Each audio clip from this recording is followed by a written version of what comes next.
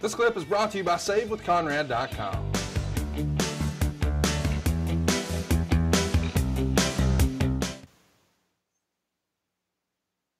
This match, by the way, is going to go probably too long 10 and 13, 10 minutes, 13 seconds.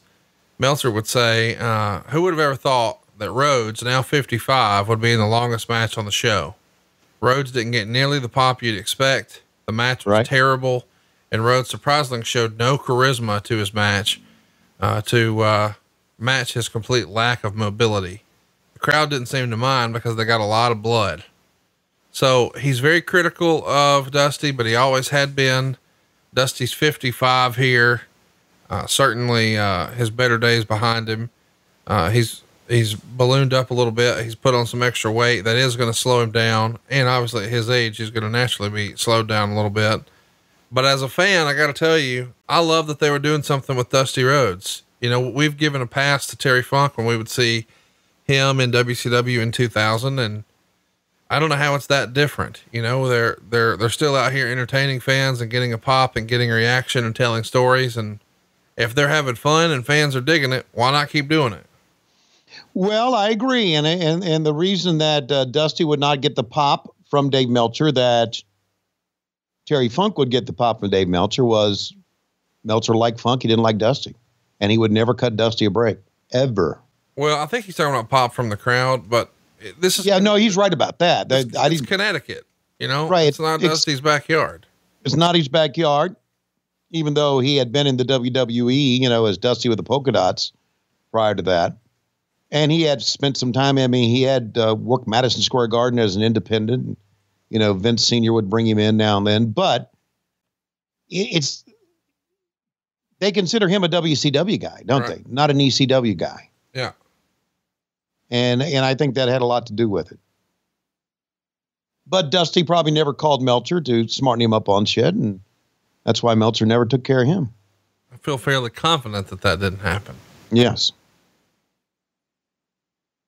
But Corino doing a pretty good job of bumping for him here. Man, I love Steve Corino. I, I, wish I do too. I, I give him a hard time. Big baseball guy, and I I always say he's Terry Taylor's you know lackey, but he's not. And I I I have a lot of time for Steve. Matter of fact, I will, uh, as baseball season gets closer, send a text or two to Steve. read us uh, three of your most recent texts to wrestlers. Uh, don't tell us who they're to, uh, but I'm sure that you've got some funny interactions. Okay. Well, as we're going on here, when's the when's the blood going to start? As I'm looking up these Texas pretty soon. Texas. Texas, Texas. Is it what Texas? Texas texts. Boy, you wouldn't think you're a commentator for a living. I am. Damn it! That's exactly right, JR. But, uh, stop that shit. Okay, let's see. Hey, buddy. Thanks. Here we go. Read it, read it. Come on. No, it's, it's gonna be taken out of context. That's, that's what we're looking for. You're gonna love this. Yeah. Hey, bu- hey, buddy. Thanks for tonight. Sorry, it did not last too long. yes. and that's probably to Tony Khan. no. Oh God, no. God, you're saying so no. You're saying wrestlers. Okay. Okay. All right. I'm doing wrestlers here. Okay. All right. Let me go look another one here. Can't wait. Wrestlers. Got to be somebody current wrestlers, right? Yep. Wow. I have to. I have to look a long way. I got one on my side. Okay. Uh, guess who I text the phrase Fifi on a pole to? Uh, the Nature Boy. Nope. That was your Okay. only guess. Mhm. I, I, I do have a text from a wrestling personality that says, uh, pounding this shit as fast as I can. I'll be ready between seven and seven fifteen. We'll text. Mm, And guess who that's from? I don't know. Your old boss, Mr. Eric Bischoff. Oh, here's one.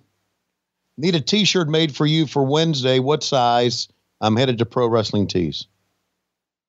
There's another one, and you say you want one more. Yeah, I got one for you too.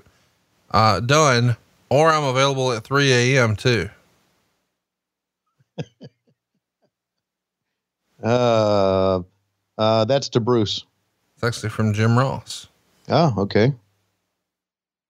Wow, in. Oh, here's one. A check is fine as long as you don't pull a Heyman. Bounce, bounce, bounce. you got one? Yes. I hope to be there in the future. Congratulations. You deserve everything good that happens to you. Hmm. This is really a terrible segment. I was hoping for more fun from you. Well, the first one was pretty good. it was. That last one was to Medusa for uh, being honored at uh, Cauliflower Alley Club coming up in April. Oh, I can't wait to go to that. Of course, you're not going. No, can't be working. But uh, our gimmick attorney, Michael Dawkins, and I uh, will be together. Oh. Cauliflower Alley reunion. Looking forward to spending some time with him. he is. He is quite the gimmick attorney. There is a lot of blood and Jack Victory, that son of a bitch. Say what, you know, you, you say what you want to about Dusty. He could take an ass kicking. There he's sawing away, man. 55. Get it done. You know, I was uh, talking to Dustin uh, just the other day backstage, and it is amazing uh, not the size wise, because Dustin's a lot leaner than his father, obviously, but facially, wow, he looks so much like Dusty now in the face. But dude, he's way taller than Dusty. Oh, yeah.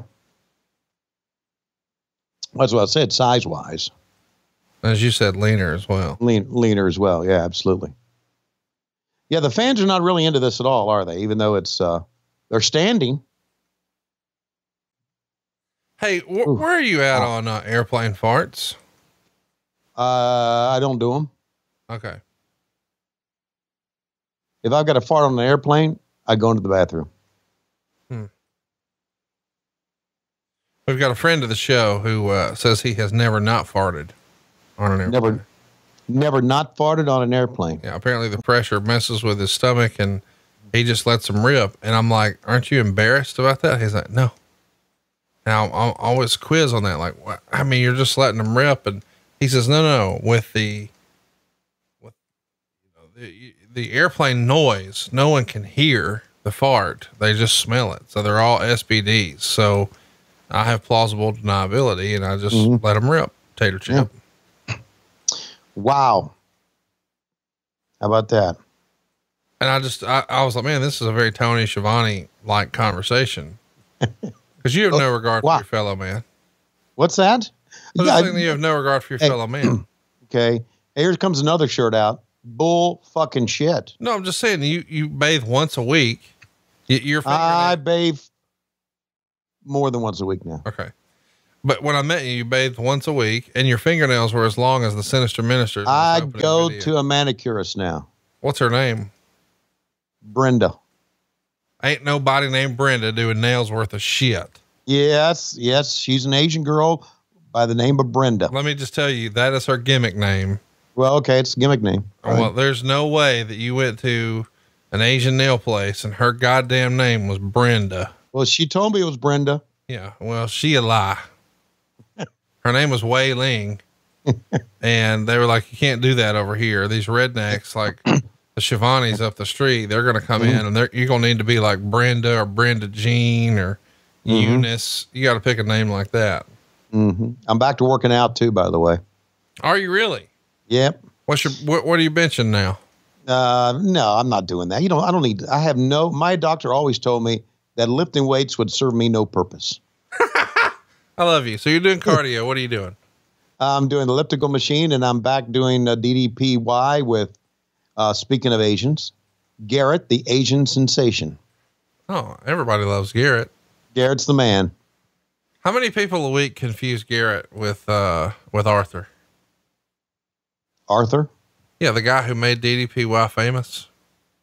Oh, that guy. Yeah. Okay. I was just told that back in the day people would routinely confuse the two, and I'm like, how is that even possible? Mm, I see that. Dark hair, Asian. I get it. Boy, that's racist. Okay. Hey, so how does Garrett feel about your very racist uh old commentary ninja bit? Uh, oh, he loves it. Really? Yeah, Garrett's good. Garrett's good people. He's Well- not full of shit like you and a lot of other people. You probably got to be forgiving though if you're gonna share office space with Weird Louie. Well, listen, uh, Garrett's office space is out front. Weird Louie's in the back where no one will see him. They would never put Weird Louie in the front of DDPY. When you walk in the door, see Weird Louie, you would turn around and leave. Yeah, that's accurate. Hmm. You feel like there's paperwork involved somewhere in that deal. That's exactly right. Love the staff at DDPY. Good people. Look at this, man. Yeah, Referee holding the head. okay, I'll help you here. Yeah, baby. Is it true that you and uh, Jim Cornette used to have a, a phrase? Um, hey, I'm the one fucking this dog. You're just the one holding the head. No, that's no, that's not true at all. But he's holding his head here for a hell of a chair shot coming up. Kaboom! I swear I've heard that on a Cornette podcast. You saying? he's Well, I'm I'm that? sure you did, but I haven't. I've not used it all. Here's the deal. Uh, the fans. Okay, he taped up a. Oh man, Dusty popping people with a bird. Oh my God, is that like a first? By the way, those boots that Dusty's rocking are his same iconic polka dot boots that he wore through his WWF run, and they uh, they're now here in my studio. My buddy Nick standing up, clapping on the left over there, the white shirt. Yeah, the fans got into the finish there a little bit, but uh, Well, they're they're excited they got to see a big star. By the way, the match gets half a star. oh, I'm sure. Next up, we've, we've got C.W. Anderson and Bill Wiles taking on Danny Doring and Roadkill. Hmm. So Dusty pops everybody the bird, does his flip flop and fly, and an elbow drop. Dusty didn't wrestle much more after this, did he? No, and I bet he got paid in cash from Paul if I had to guess. Oh yeah, up front. What are some of his uh, self, and the way he would describe himself that tickled you the most? The Bull of the Woods would be one. Mm-hmm. Uh, second recognized- power, too sweet to be sour. Uh, Stardust. What else? I don't know. know if it, did you hear Kevin Sullivan there just now? I did. I did hear Kevin Sullivan. Hey, I Yeah. wanted to ask, uh, are you going to Michael Hayes' birthday party? We were both invited, as you well know. I don't remember being invited to his birthday party. Um, what's happening at the end of the month? at the end of the month of March. Yes, in in in Atlanta. Uh, uh, during the weekend, Yes, yes. Kevin Sullivan. Kevin, stop it, Kevin. Hang on, God, God, they call him Bug, Bug. Well, listen, I'm glad that's Bug barking because a few days ago you took to Twitter and asked Yeah, for some was, prayers because, as you said, the biggity was- bug was not doing well. uh, he he uh, he kicked out again. He keeps kicking out, man. He keeps going to the hospital, getting these bad blood things and uh, blood tests, and then he they put him on medicine. And he kicks out. But this one was really scary. Now he's Oh. doing a run in on the show. Yeah, I know. That's No. his way of thanking all the fans who, uh, who listen to the show and support the show and said a little prayer for him.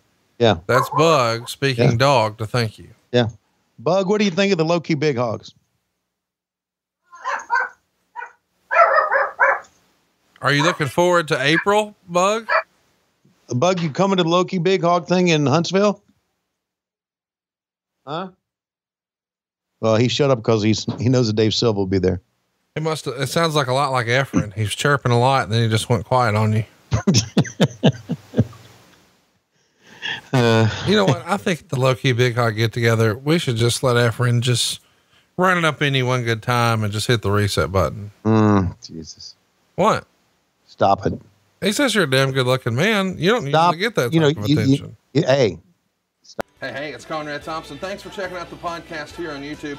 Be sure to hit the subscribe button and the notifications bell so you get a notice anytime we upload some new content. And go save yourself some money right now. If you're in a 30 year loan or you have credit card debt, it's not a matter of if I can save you money, it's a matter of how much. Find out right now for free at SaveWithConrad.com.